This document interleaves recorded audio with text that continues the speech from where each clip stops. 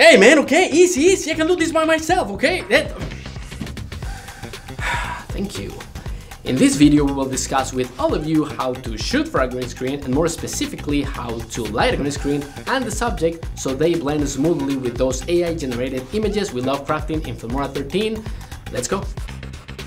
Hey, hello there, my name is Andres and I'm here to empower your inner video creator. Green screen is a common technique used in Hollywood to create realistic looking scenes. While we might not have Hollywood's budget to produce our videos, we can still strive for perfection. This way, our scenes won't look unrealistic, like this.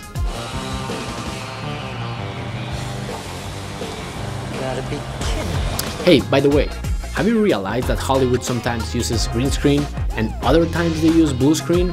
Do you know why?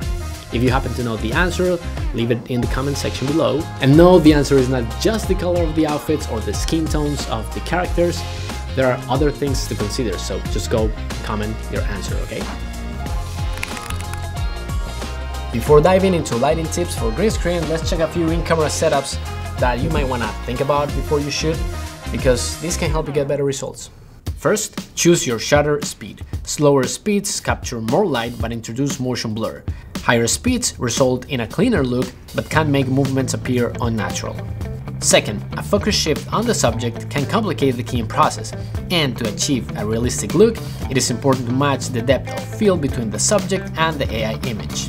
Third, ensure that the camera angle and height align with both your subject and the AI image, ensuring a seamless match between them. Okay, a good lighting setup when shooting in front of a green screen is pretty much the most important thing to do and is actually pretty simple to explain. Basically, what you want to know is this. Start by choosing the background with Filmora 13 AI Image tool. This step will enable you to create a lighting plan based on your available equipment, saving you time on set.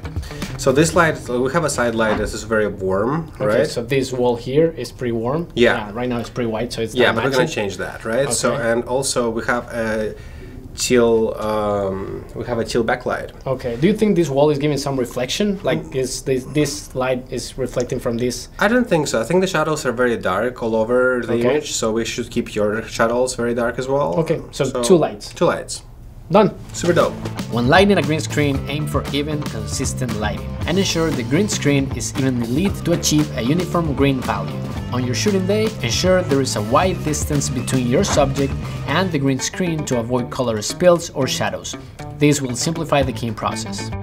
Finally, it's time to light your subject. We start by placing our two lights to match the light source in the AI image. We set the temperature of the key light and added a CTB gel on the backlight to get that teal tone. However, we ended up adjusting the white balance on the camera from 6000K to 4000K to create a colder look and ensure a more accurate light match with the background. Your head. yeah. Just go a little lower. Okay. okay. and that's it. By applying all these tips when shooting in front of a green screen, you will get a more professional look. And also you'll have to consider to do a proper color correction in Filmora 13 to match the vibe of the scene. If you want to know more about how to remove a green screen in Filmora 13, check out these videos in our channel for more in-depth information. And remember, if you know the answer to the question of why Hollywood sometimes uses green screen or blue screen, leave it in the comment section below.